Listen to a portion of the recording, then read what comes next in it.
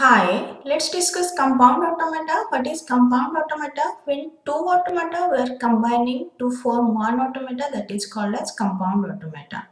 So compound FA is the resultant DFA formed after performing operation union, intersection, difference and concatenation on given DFA D1, D2. If two automata are given, two DFA are given D1, D2, on that we will perform this operation union, intersection, difference and concatenation. Then we will form a new automata that is called as compound automata. Let D1 be Q1 sigma del Q. Then uh, this Q1 that is for initial state. This is for set of state. Then F1 that is for final state. Then D2 be Q2 that is set of state. Then uh, sigma del Q2 F. Then properties of compound finite automata. So number of state in the compound FA is equal to m cross n. What is m? m is the number of state in D1, n is the number of state in D2. So number of state will be m multiplied by n. Initial state of compound FA is combination of initial state of D1 and D2. So both initial state will be the initial state in the compound automata. Then final state of compound FA depend on operation performed. Operation means whether you are performing union, intersection, difference or concatenation. So there will be not written union, it will be written or and. Okay.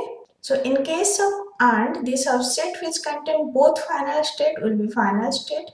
In case of or, the subset which contain at least one final state will be final state. And difference, difference you can write a minus b you can write as a intersection b complement. You know how to find complement just to and with a. Find the complement of b then a and b complement. Let's do one example. Every string end with b and length of the string is even and here alphabet is a b.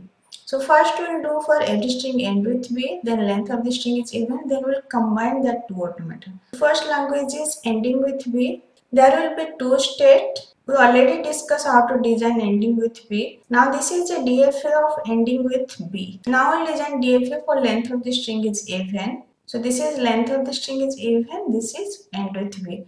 Now I'll combine these two. Then what will be initial state? Initial state will be both initial state.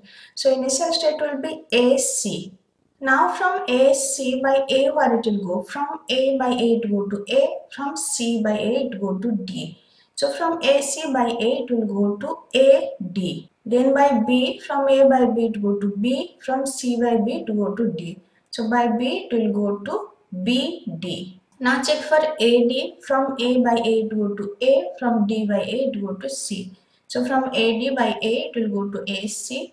Then from A by B it will go to B. From D by B it will go to C. So we'll create another state BC. From AD by B it will go to BC. Now check for BD. From B by A it will go to A. From D by A it will go to C. So from BD by A it will go to AC. Now from BD by B, from B by B it go to B, from D by B it go to C. So by B it will go to BC. Now I'll check for BC. From B by A it go to A, from C by A it go to D. So BC by A it will go to AD and by B it, there is a self loop of B. So from B by B it go to B, from C by B it go to D.